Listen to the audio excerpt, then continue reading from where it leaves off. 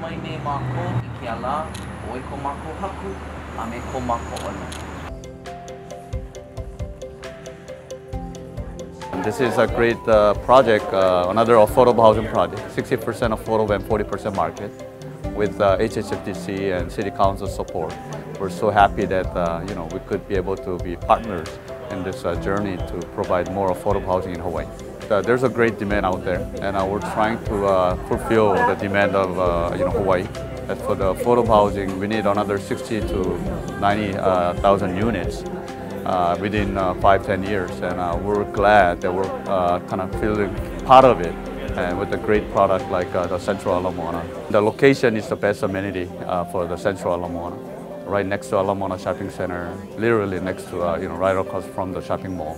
And with a variety of restaurants and shoppings and Walmart, uh, Target, uh, Walgreens, you name it. And uh, again, uh, we're trying to provide the best uh, amenities for this building. I kind of felt it's about time that you know somebody brings a local family into the prominent area like this. This is a central urban area, as we all know, and uh, I just wanted to open this uh, opportunity to have these people of Hawaii, families of Hawaii, own their own home in such a prominent uh, location in Hawaii. And that's the decision that we made to go on for sale uh, under the low, uh, under uh, market rates so that people can own.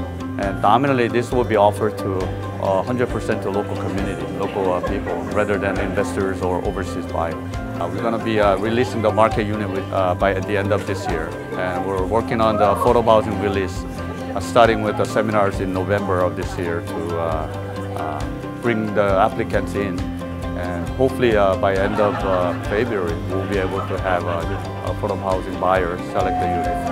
And hopefully within April of next year, to go on a groundbreaking and start the construction.